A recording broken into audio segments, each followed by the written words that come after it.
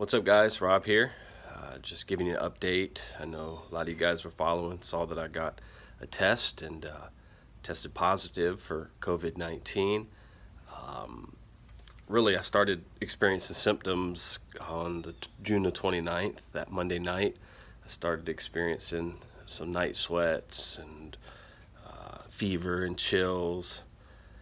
Uh, and then into Tuesday as well. And, and, Wednesday morning, I went and got a. Uh, I drove about an hour or so to get a test, one of the nose swab tests, which took three to five days to get the results.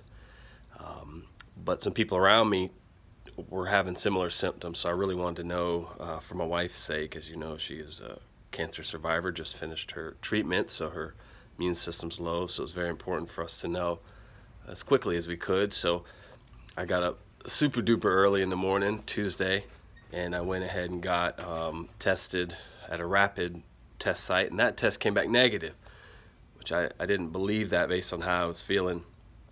So, uh, so I was kind of quarantined myself, hunkered down, and waited for the other results to come back, and they came back today positive. Uh, since since the first test, kind of been up and down. I went, went feeling relatively normal, then really bad again lots of I mean fatigue is unreal. Like just a, even this activity right here feels like I'm running up a flight of steps. I'm already sweating just holding this phone. Uh, but I wanted to update you guys so you guys can follow along. Ultimately as you know I trust God.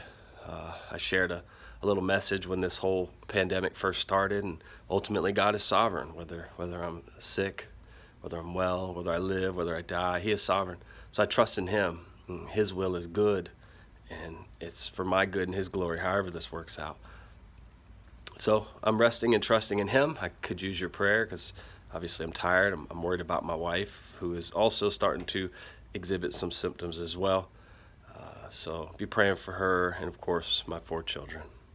Love you all i keep you updated as this thing progresses